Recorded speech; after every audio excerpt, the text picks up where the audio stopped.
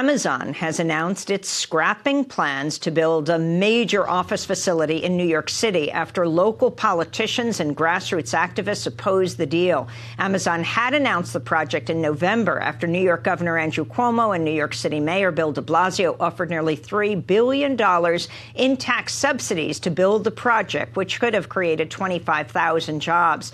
As part of the deal, New York even offered to build a helipad for Amazon CEO Jeff Bezos Bezos, who is the richest man in the world. One of the leading opponents of the deal was Democratic Congressmember Alexandria Ocasio Cortez, who represents parts of Queens, New York, the borough where Amazon was planning to build.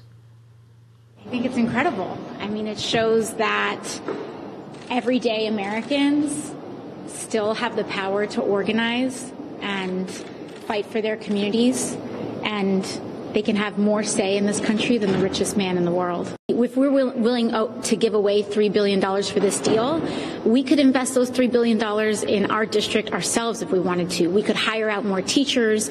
We can fix our subways. We can put a lot of people to work for that money if we wanted to. New York State Senator Mike Gianaris also helped lead the opposition to the project. This is a very dangerous moment in our history where big corporations think they have the power to tell governments what they should be doing. This is robber baron stuff.